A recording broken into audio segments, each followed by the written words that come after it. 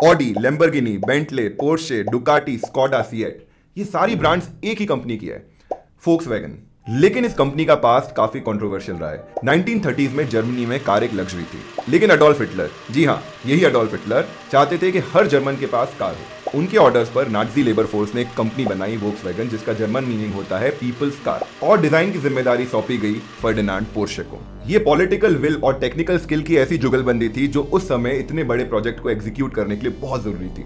1938 में कंपनी ने अपनी पहली कार बीटल्स लॉन्च करी, जो आपने बहुत सारी हॉलीवुड मूवीज़ में भी देखी होगी। 1945 में सेकेंड वर्ल्ड वॉर के बाद इसका मास प्रोडक्शन शुरू हुआ और ये बीसवीं सदी की दुनिया की सबसे ज़्यादा बिकने वाली कार बनी with over two crore Beetles sold आज फोक्स वर्ल्ड की दूसरी सबसे बड़ी कार मैन्युफैक्चरर है और दुनिया में बिकने वाली हर दस कार में से एक कार इसी कंपनी की होती है। वैसे पॉलिटिकल विल और टेक्निकल एक्सपर्टीज के कॉम्बो से इंडिया ने भी एक कार बनाई थी। अगर पता है तो इस वीडियो को लाइक करते जाना।